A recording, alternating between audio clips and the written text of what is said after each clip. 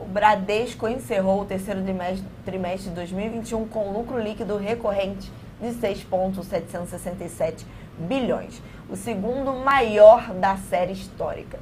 O resultado é 34,5% superior em relação ao mesmo período de 2020, reflexo da recuperação em seguros e do desempenho das receitas aliados aí às menores despesas, menores provisões e ao crescimento da carteira de crédito.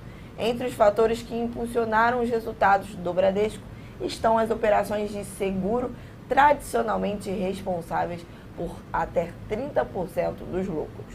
No terceiro trimestre, o resultado do segmento foi de 3,213 bilhões, alta de 104,1% em relação aí ao segundo trimestre deste ano.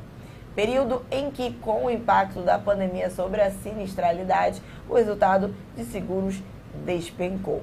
Retorno anualizado sobre o patrimônio líquido, o ROE, veio aí, é, teve alta de 3,4 pontos percentuais e alcançou 18,6% no período.